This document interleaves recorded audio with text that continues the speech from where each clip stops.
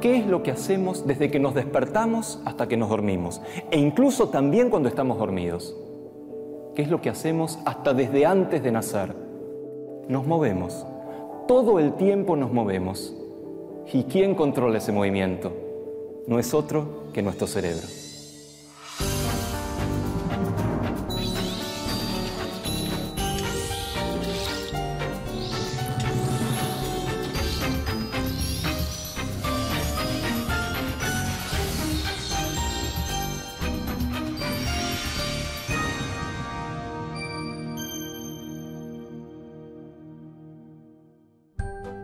Santi, te pido que juntes los dedos así, entrelazados, y levantes los dos índices.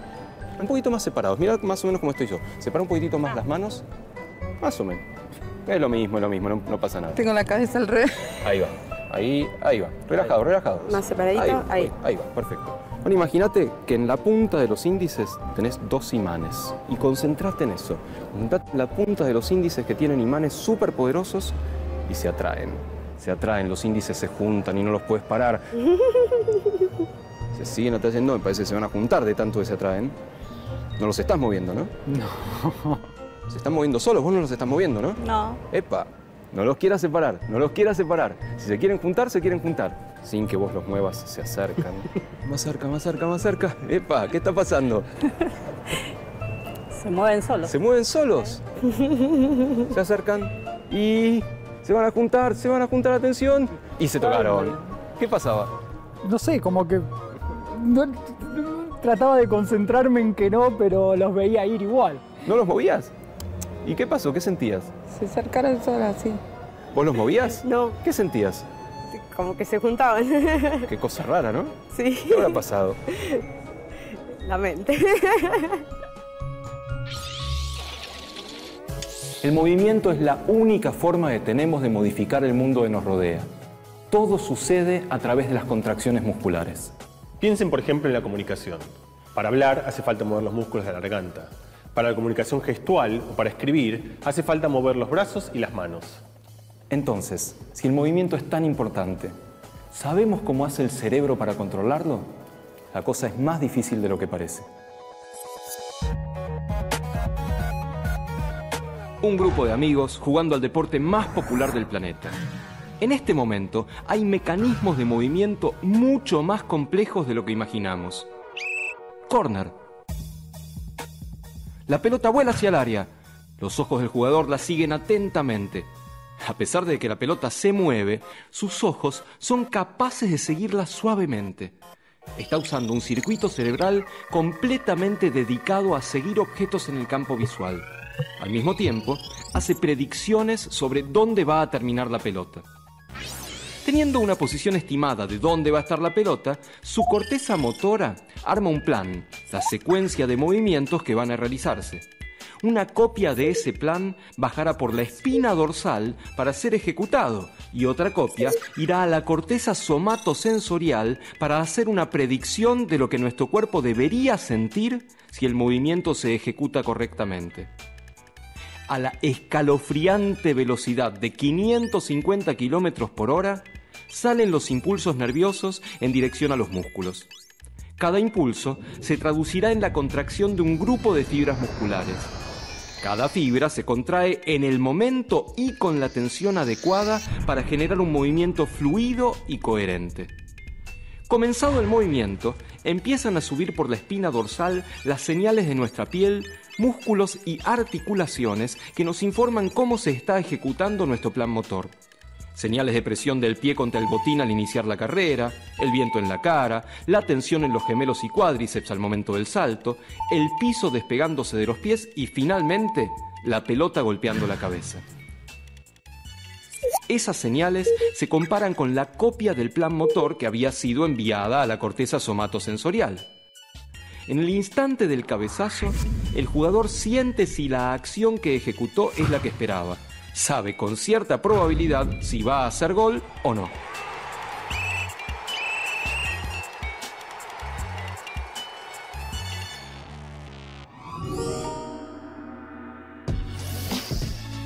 Vamos a hacer un juego. Dale. Seguí esta moneda con la mirada. ¿Cómo ¿Cómo se veía? No, bastante borrosa, no la puedo ver con claridad. Bueno, ahora vamos a hacer el juego inverso. Sí. Yo voy a dejar esta moneda quieta y sos vos el que moves la cabeza y trata de mirarla. Ahora, ¿cómo la ves? Ahora nítida, me mueva como me mueva, la veo siempre perfecta. Sí, lo que pasa es que en el primer caso era yo el que movía la moneda y por lo tanto tu cerebro no podía predecir el movimiento. Cuando el cerebro no puede predecir el movimiento, la mirada no está dirigida exactamente al punto en el cual está la moneda y por lo tanto se ve borroso. Pero en el segundo caso yo me movía todo el tiempo y la veía perfecta. Sí, esto sucede porque cuando vos te estás moviendo, tu cerebro te indica y envía una señal advirtiendo este movimiento. En tal caso, los ojos pueden activamente corregir para que la moneda esté siempre en el centro de la mirada. El ejemplo más claro es la gallina, o en este caso un gallo, que no puede mover los ojos y por lo tanto, cuando mueve el cuerpo, el cerebro eh, calcula ese movimiento y lo compensa moviendo el cuello para dejar fija la cabeza y al dejar fija la cabeza lo que logra es estabilizar la imagen.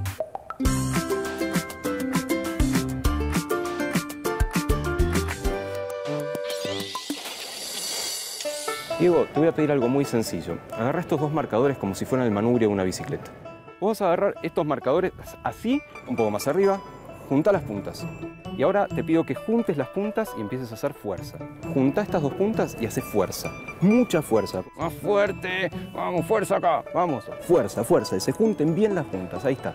Empujalo un marcador contra el otro. Más fuerza. Es un rato largo, ¿eh? Un poco más, un poco más. Perfecto. Un poquito más. No estás haciendo fuerza. Fuerza, fuerza, fuerza, fuerza. Ahí va, ahí va, muy bien. ¿Estás haciendo toda la fuerza que puedes usar? Sí. Mm, estás haciendo poca, puedes un poquito más. Ahí va, ahí va, ahí va mejor. Ahora te voy a pedir que muy despacito trates de separar las puntas de los marcadores. Muy despacito.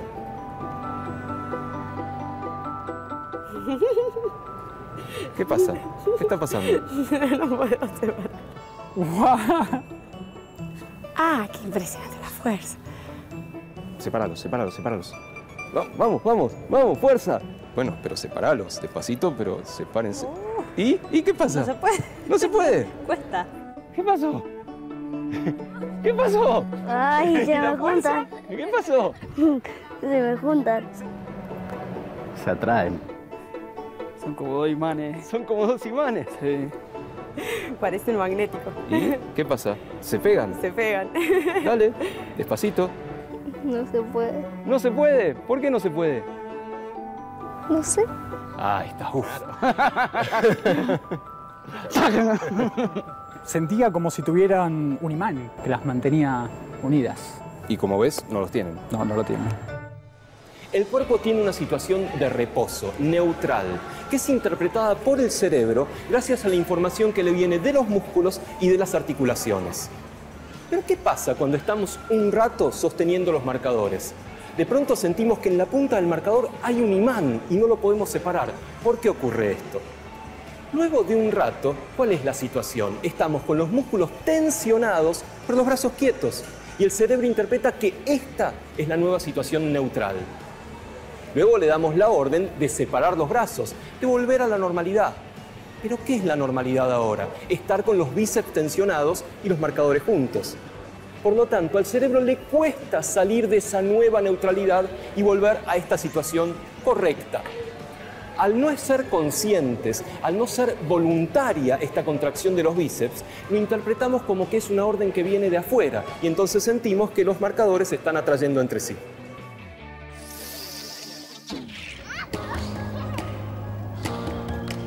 Nos subimos a la trepadora, nos amacamos, nos tiramos por el tobogán. Pero ¿cómo aprendemos a movernos? ¿Cómo sabemos el tipo de movimiento que tenemos que hacer en cada caso? En algún momento queremos caminar, queremos subir una escalera y de pronto lo estamos haciendo. Lo que es seguro es que la intención del movimiento es algo voluntario, queremos subir esa escalera. Pero las órdenes que da el cerebro para la secuencia de movimientos, para la activación e inhibición de los músculos, es completamente inconsciente, es algo involuntario. Cuando comenzamos a movernos, necesitamos algo que imitar. Necesitamos ver un movimiento, tal vez ver el de nuestros padres o de nuestros amigos o nuestros propios movimientos y así comenzar a repetirlos. Es en esa repetición cuando se produce el ajuste fino del movimiento que queremos hacer. En algún momento de nuestra vida comenzamos a movernos y después no paramos nunca más. Todos nuestros movimientos empiezan acá, en la corteza motora. La corteza motora primaria se encuentra en una franja de cerebro en forma de vincha y está organizada más o menos como un mapa de las partes del cuerpo. Las partes que requieren movimientos más finos están representadas con una mayor superficie de la corteza. Así, las manos, los labios y la lengua se llevan una porción mucho más grande que, por ejemplo, los pies. En esta parte del cerebro y en sus áreas adyacentes se crean los planes motores que luego ejecutamos.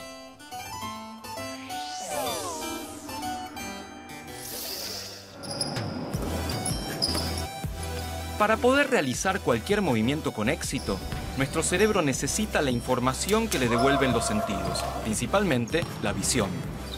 Sabiendo esto, podemos hacer un juego para despistarlo. En este caso, contamos con la colaboración de jugadores profesionales de básquet del Club Atlético San Lorenzo de Almagro. ¿Cómo vamos con los tiros libres? ¿Probamos? Vamos, dale. Dale.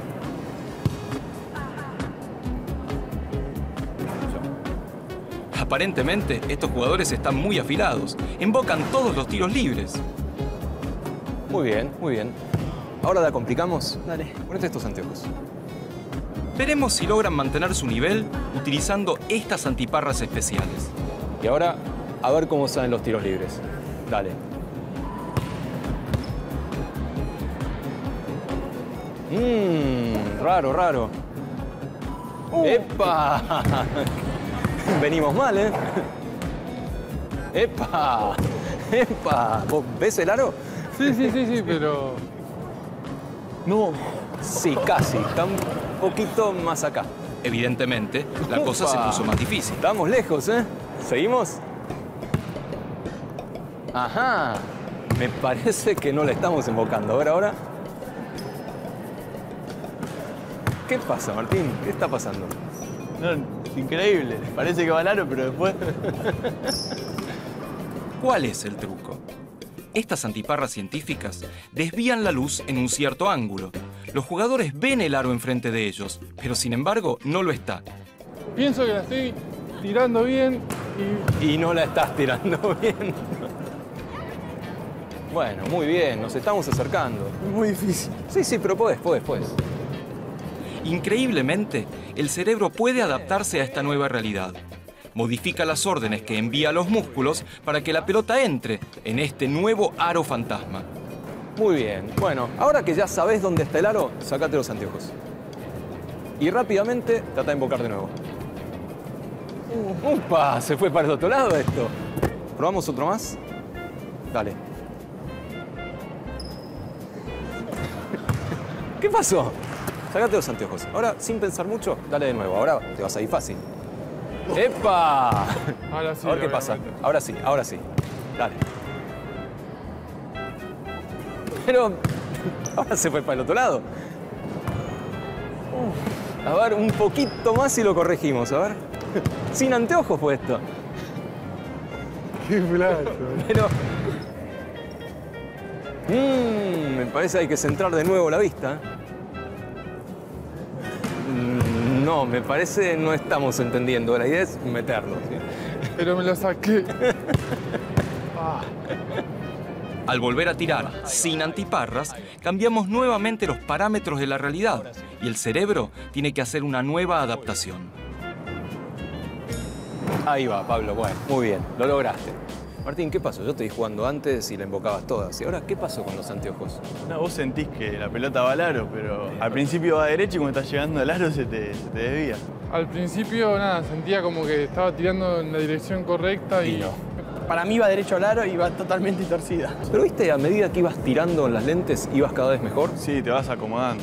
¿Sabes qué es lo que se va acomodando? No es la vista, no son los ojos, es el cerebro. El cerebro va compensando esa diferencia que dan los lentes. Y después la invocaste, sacaste los anteojos. Y ahí ya eras el de siempre. Sí, parece que vas a tirar normal como siempre y otra vez se te desvía, pero para el otro lado Se la fue pelota. para el otro Se va lado. para la izquierda. No sé, pensaba que con los, era el tema de los anteojos y me los saqué y pensé que le iba a poder meter y se me iba para el otro lado. Mira vos. Mi cerebro se había acostumbrado a otra visión. Exactamente, y te costó volver a acostumbrarte a la visión normal. Eso se llama plasticidad. Como el cerebro es plástico, puede cambiar, puede entrenarse. Vos a lo largo de tu entrenamiento como basquetbolista te fuiste entrenando en saber cómo tirar, cómo apuntar. Yo te obligué a entrenarte distinto. Una vez que lo lograste, tuviste que volver a empezar de Claro. nuevo. Dale. Sigo igual. ¿Cuánto dura esto? ¿Dura No, mucho? no, no, no te preocupes, enseguida se te termina. Sigamos jugando con las antiparras científicas. En este caso, la tarea es mucho más sencilla y no hay que ser un profesional para lograrlo. Simplemente hay que tocar el punto con el dedo índice. Veamos qué tan plásticos son los cerebros de estos participantes. Vamos. Ahí va. Ahora arriba otra vez. Abajo. ¿Fácil o difícil? No, fácil. Ahora vamos a ver el mundo con unos anteojos locos que nosotros armamos. Toma, te los puedes poner así. Bárbaro. ¿Me ves bien? Te veo bien. Y ahora vas a hacer exactamente lo mismo. Vas a levantar el dedo y cuando estoy ya, vas y tapas el punto. Vamos.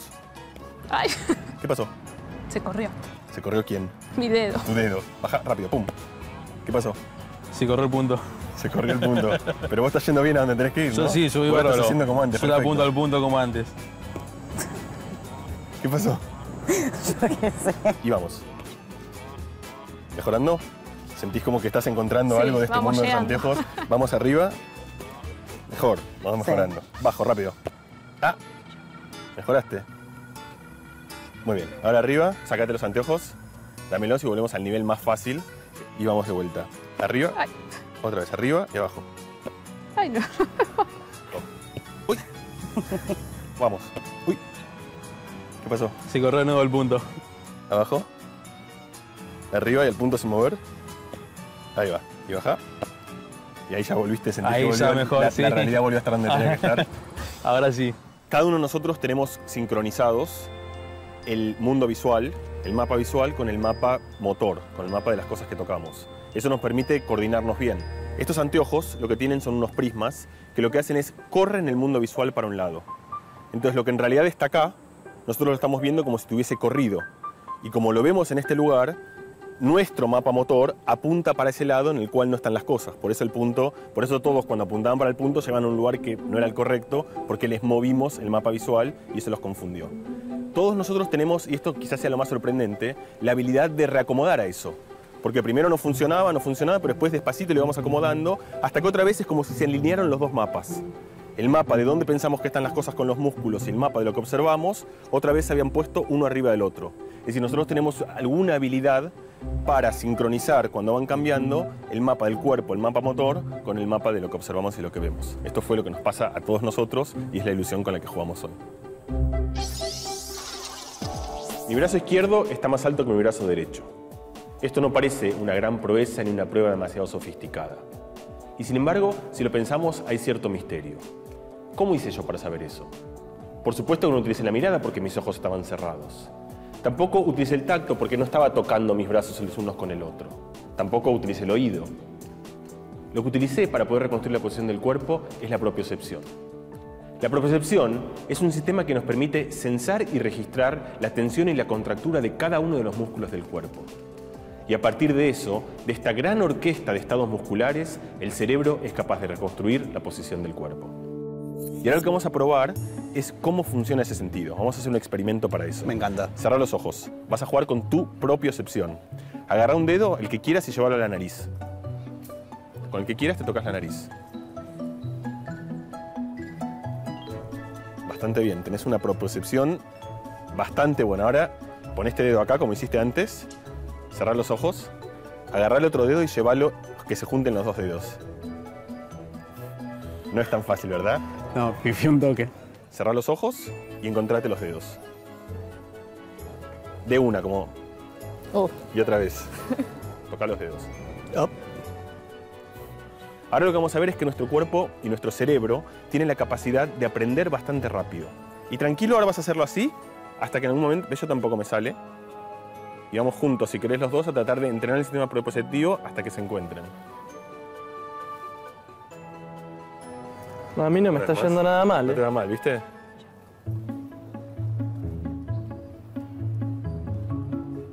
¿Mejor? Sí, mejor. ¿Una última vez? Perfecto. Bien. Si la última no está. Ahí va. Bravo. Ahora abrí los ojos, están juntos. ¿Sentís como que empezaste a ver tu cuerpo de una manera distinta en el momento que lo repetías? Costó unas pruebas varias, pero como que se fue acomodando el cerebro para llegar a ese lugar. Esta posición del brazo es una posición en la cual supongo que vos no solés estar, es nueva, y por lo tanto tenés que aprender a sentir eso.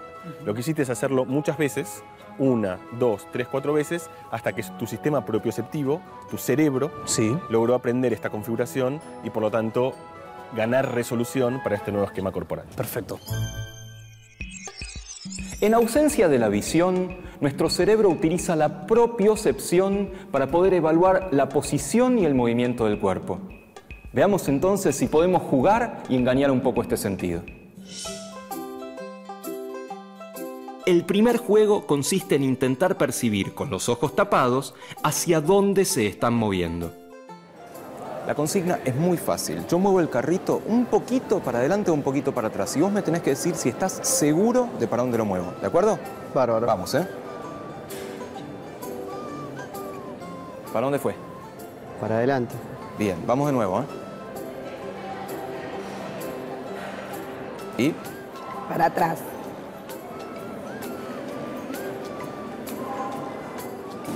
¿Y ahora?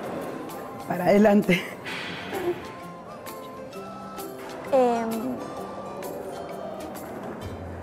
¿Y ahora dónde moví? ah, para tu lado. ¿Y ahora? Para adelante. Fenómeno, sácate.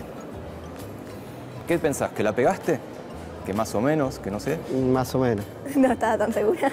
La primera vez fue para atrás y vos dijiste con bastante seguridad fue para adelante.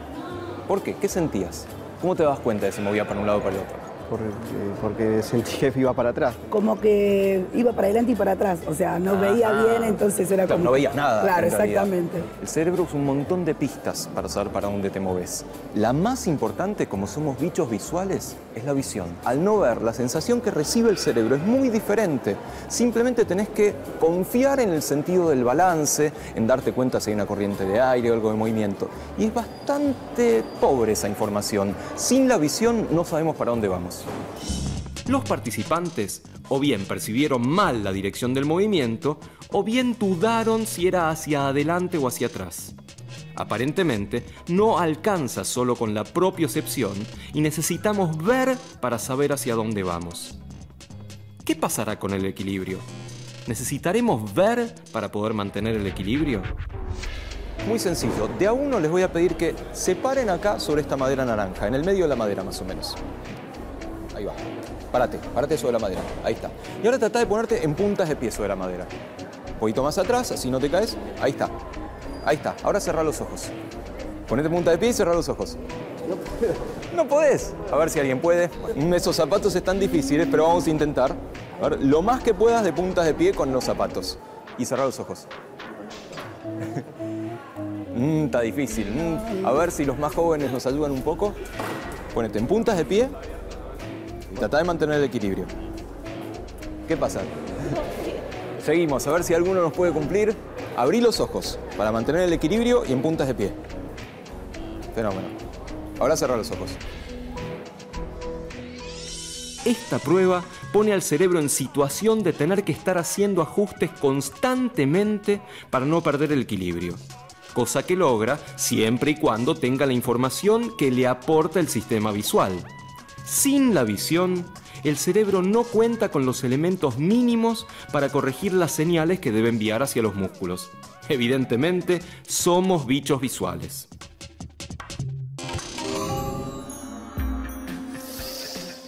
Todos o casi todos experimentamos alguna vez la sensación de vértigo.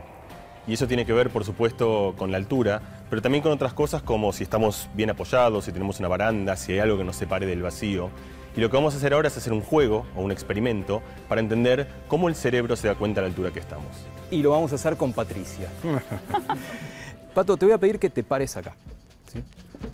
Mirando para mí.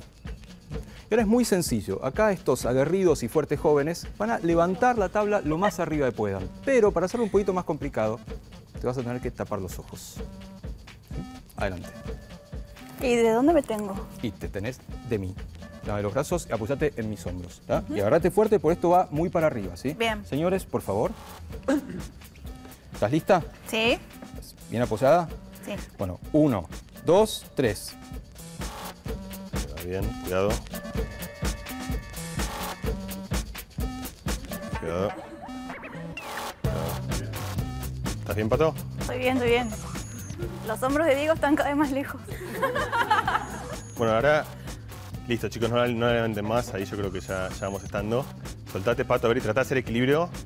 Bien, estás bien. Cuidado. Haz una cosa ahora. Primero decime, más o menos, ¿dónde sentís que estás? ¿A qué altura estás?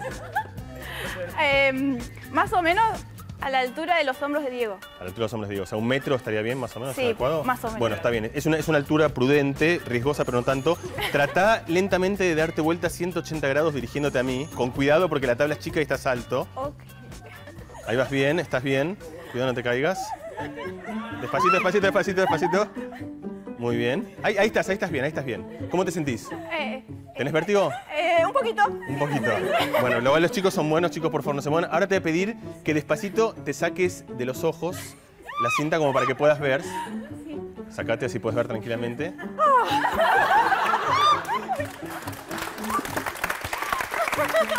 Vení,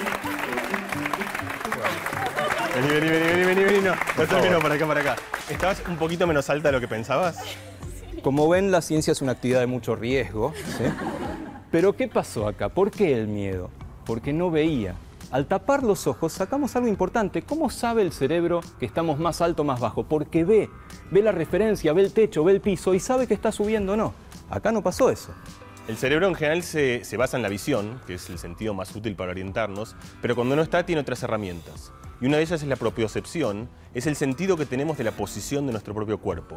Saber con los ojos cerrados dónde están los brazos, dónde está la cabeza, dónde están las rodillas, dónde están las piernas.